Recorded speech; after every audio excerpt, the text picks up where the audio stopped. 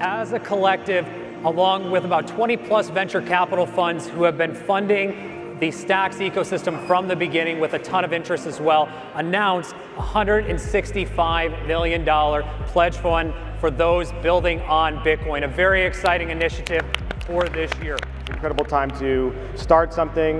It's an incredible time to invest in all the exciting opportunities that are happening. The thing that surprised me the most, I think, over the past year was just how supportive everybody is in this community. What's up, Miami? Because once we announced the amount of people that were interested in the Odyssey has, it, it's just, it's a little bit uh, overwhelming and humbling, honestly. Who and in the room is trying to bring a product to market in stacks? Fantastic. You're the guys we're talking to. 30 billion, 4% was invested in crypto and Web3. And we got a part of that here in the Stacks fam as well, which is super exciting. So we're going to be providing a Stacks debit card in the United States, in 27 countries in Europe and the UK, in 29 countries in Latin America, and on and on.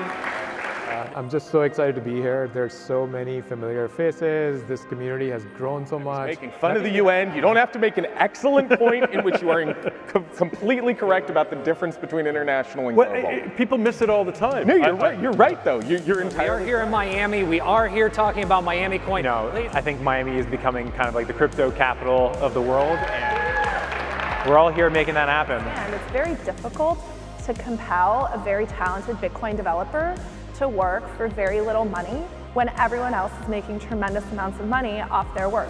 Never have I seen a group of peers and a community that is all aligned in the same direction to help each other be successful. We donated $5.25 million to affordable housing in the city of Miami. But really we can send you now to way more sophisticated people who can write those really big checks to support the vision of our long term.